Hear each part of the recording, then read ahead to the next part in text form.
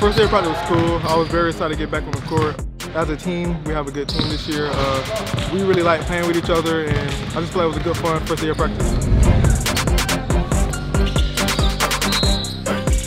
I feel like we are ready together, ready to help each other, and I hope it goes on on the court. I think we are gonna have a really good season, and I'm super excited about it. You know, I'm excited.